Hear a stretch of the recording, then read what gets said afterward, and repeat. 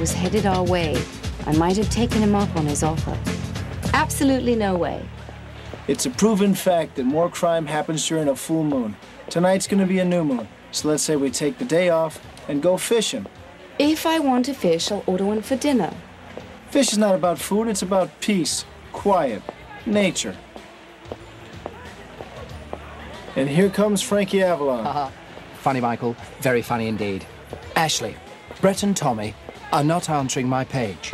Why don't you try them again, Arthur? My dear, I have spent days, no, weeks, trying to come up with a concept for a new show, and I'm getting no cooperation whatsoever.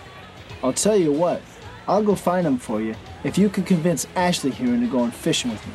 What do you say? Why on earth would she want to go fishing? Thank you, Arthur.